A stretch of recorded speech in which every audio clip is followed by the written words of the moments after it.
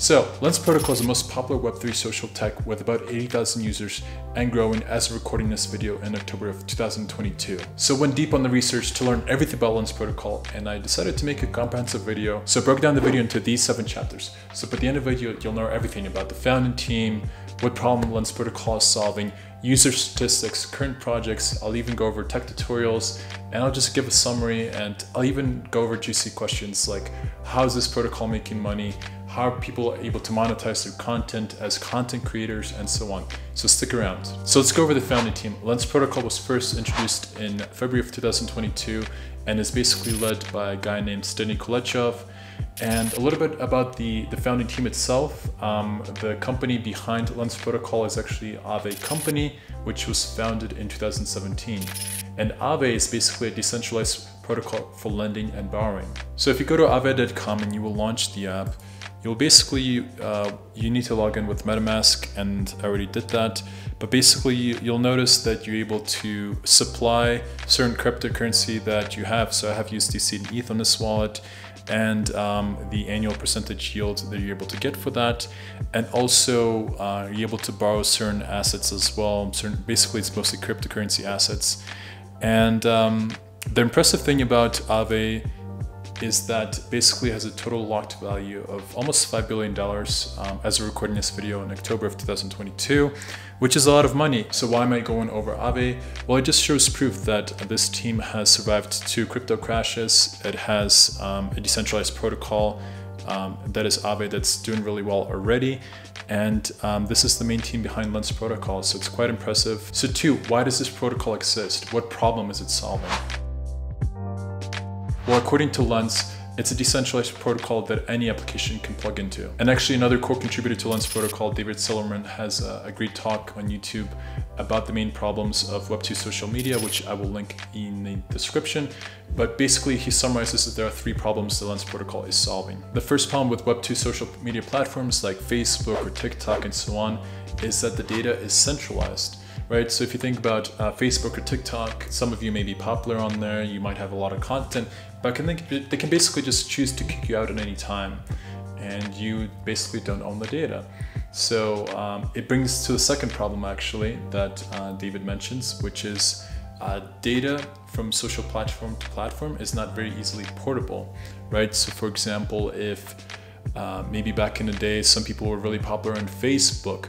Well, it's not easy for them to transfer that information to TikTok or to Instagram, or that maybe um, some people were famous on social media platforms that no longer exist. And basically, it's hard to just switch your, uh, move your content, move your followers, move your posts and, and stuff like that from different platforms. And Lens Protocol solves both of these problems because when you create a post or comment or even a profile on Lens, uh, the data is actually stored on a blockchain. So eh, more specifically, it's actually stored on Polygon sidechain, which is part of the broader Ethereum ecosystem. So if you engineer, you could actually use um, the same common technologies like Solidity or Hardhat and so on, and you can hook into the Ethereum ecosystem. And if we take a look at the most popular app on Lens Protocol, uh, we're gonna look at lenster.xyz, and you can see it's like a minimalist Facebook or Twitter with a bunch of comments and posts. So let's say a few years from now we don't like Lenster anymore and uh, for whatever reason, maybe because they become a bad actor, well, uh, somebody else can basically fork Lenster or they can create another application and it still will basically point to the Polygon sidechain data of all of our followers, our posts, our comments, and so on. So five to 10 years from now, basically, um, if this works, then uh, let's say some of us become popular on Lenster or we, we grow a following, and then there's maybe another social media platform like TikTok or Substack, well, we can utilize our followers from Lenster uh, into these other applications because again, everything is actually stored in the blockchain. And aside from Lenster, other applications have access to this data, which is quite impressive. And the third problem the Lens protocol is solving is basically the fact that Web2 social media platforms sell your data. And a lot of times it's a trade-off that we're okay with or we just don't even think about. But with Web3, the way um, Lens protocol has built um, the way you create posts, comments, and so on, you actually, there's actually different mechanisms to monetize our content. Because in Lens Protocol, basically a profile, a post, and comments They're all are stored as ERC721 NFT tokens. So technically, people can collect my posts and, and so on, but we'll talk about more in detail in a little bit. So if you navigate over to lens.xyz, navigate towards the uh, basically the documentation that they have, and then you could scroll down and you could see the major concepts. So we have profile, publication, comment, mirror. These are the first four that we will cover. Profile is the same thing as a profile on Twitter or on Facebook and so on. So uh, basically when you go to lens.x, actually, no, we'll go to uh, lens.xyz and basically you'll be able to claim your handle here and that will be your profile. Um, then publication is the equivalent of a post, so similar to Facebook or Twitter, when you create a post, that is the equivalent of publication. In fact, I use that interchange interchangeably here. The third thing is a comment. Again, it's the same thing as in Facebook, Twitter, YouTube, and so on.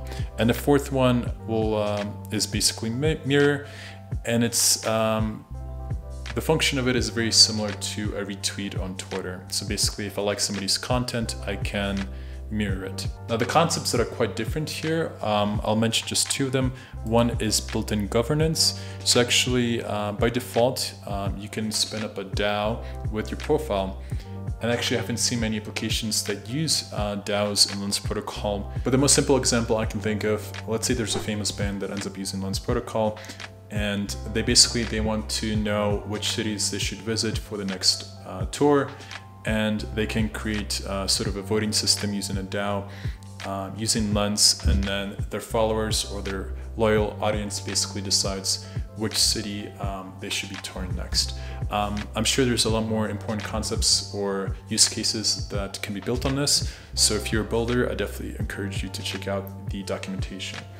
And the other example that I want to show is actually um, they have modules, which uh, when I was reading this documentation, it was a little bit too abstract for me. However, when I was watching David Silverman's talk from ETH Global on YouTube, he broke it down to very simple terms that I could understand. So basically, are three modules, which are follow, collect, and reference.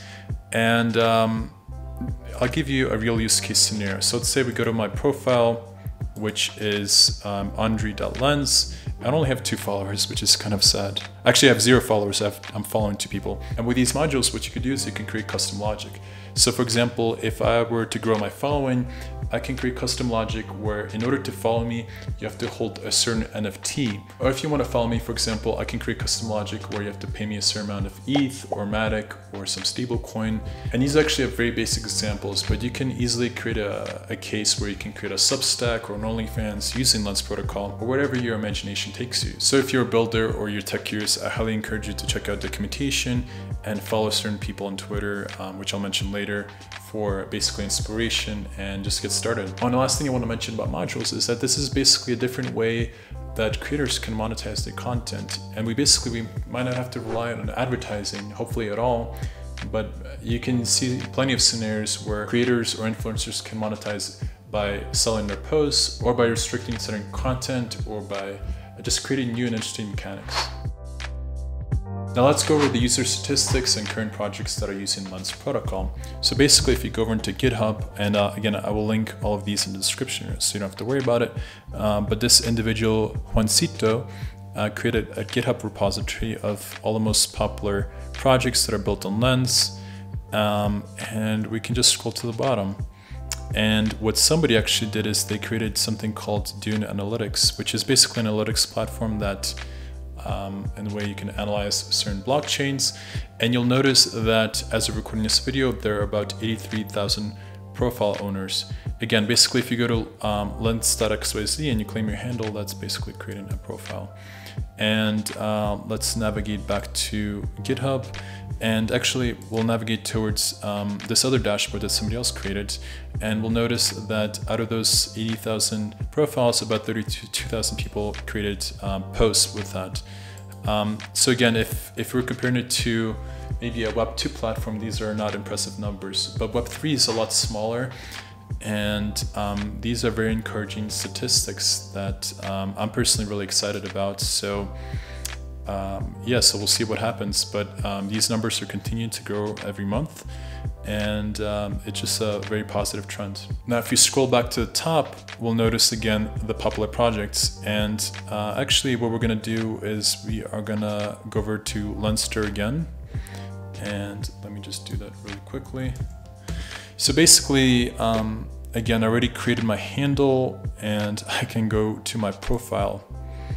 And again, um, it's kind of sad, I only have zero followers and I'm following two people. Uh, but let me let me create a post and you see the, the experience is kind of smooth. So um, post for demo. So let me create this post and we'll see what happens. And voila. Now you'll notice something interesting and you're like, Andre, why are you impressed? Well, because this is stored in a blockchain and we're able to see that I created post within a few seconds. Now, in Web3, the user experience is actually typically a lot worse. If you ever go to OpenSea or another Web3 application, there's a lot of signing and a lot of waiting, at least 10, 15, 20 seconds for a transaction to go through. Well, what Lens protocol has done is actually they create the way they're able to create these, the seamless experience is something called a dispatcher. And if we go back to their documentation and we look at what the dispatcher does, um, we'll actually notice that a dispatcher, what it does is that, that there's basically an intermediary wallet that signs for us. And uh, basically what that does is that means we don't have to sign using our MetaMask or another kind of wallet application.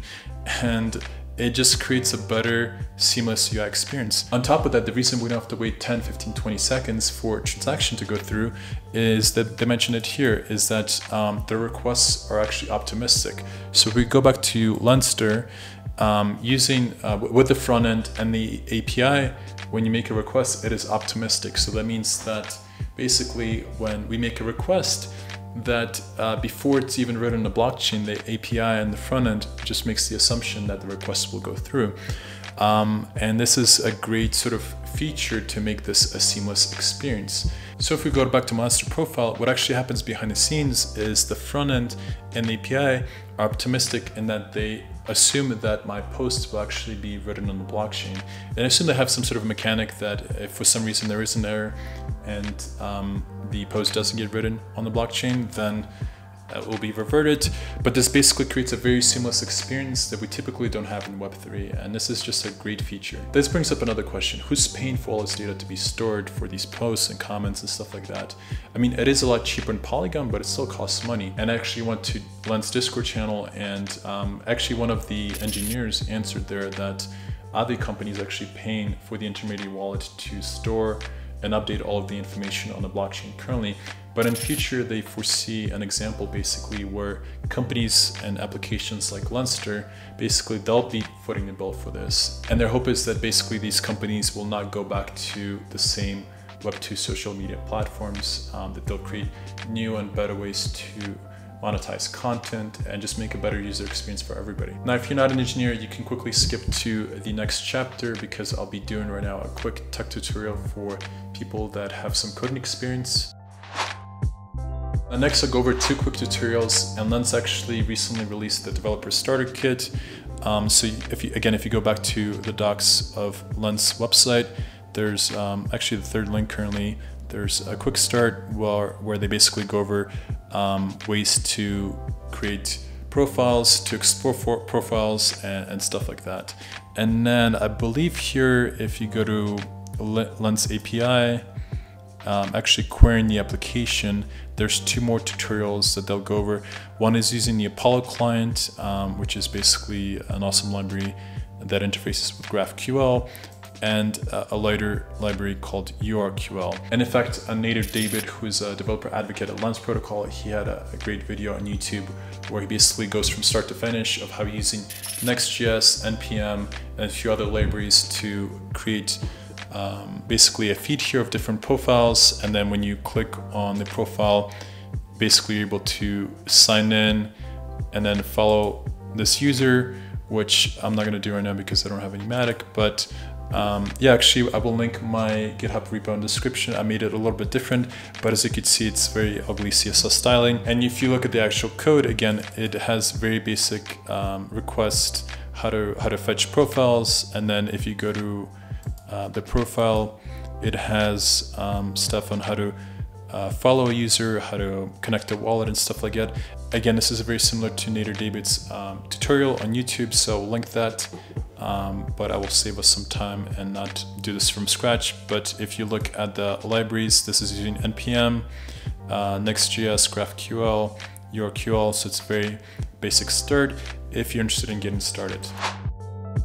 So to summarize everything that I've said so far, uh, again, Lens protocol is built on a Polygon sidechain and a lot of the architecture is actually using ERC721 NFTs, uh, including profile, posts, and comments. So there's it basically brings uh, an opportunity to collect these as NFTs and bring different ways of monetizing the content. Now, do I think it's a Facebook or TikTok killer? Well, I don't think the Aave team have that in mind. What they did is basically solve one very big problem of how to decentralize data for social media platforms or for social graphs in general. And it's basically up to us as builders to fill in the holes and figure out ways to monetize the content and to basically create better user experiences uh, that are driving and improving social media experience for us. So for example, uh, many people in Web3 space were complaining about um, using Discord and how it's annoying. Well, actually, Lens already implemented direct messaging with XMTP. So um, as I mentioned before with modules, you can custom gate uh, certain experiences and certain profiles and stuff like that uh, using NFTs or other tools. So the technology is basically there to uh, create new interesting ways to collaborate, to create communities and so on. Now there's still a lot of questions about scalability and monetization of this platform. However, when you look back at it, uh, Facebook and Twitter and all these other platforms, people were, those were basically very big critiques for all of these social media platforms. And for many of them, it took them five to 10 years to figure it out. So I don't think it's, uh, it, it's a criticism, but um, it's a very young platform that is still less than a year old. And if they do end up getting millions of users um, that they'll need to store their data on Polygon, They'll be a very good problem for them to have, and I'm sure they'll try to figure something out. Now, something to keep in mind is that Lens protocol by default stores everything publicly in a blockchain, uh, more specifically in a Polygon sidechain. However, um, there are ways to encrypt this data and make it basically more anonymous or more secure, maybe similar to a Signal app. So all of these are possibilities and I'm really curious what's gonna happen in the near future. Hopefully this was useful for you. Please follow me on uh, andriy.lens uh, using Lens for another application. Uh, I might actually start posting there because I really wanna start experimenting with this platform and seeing what's possible. Thank you and have a good day. See ya.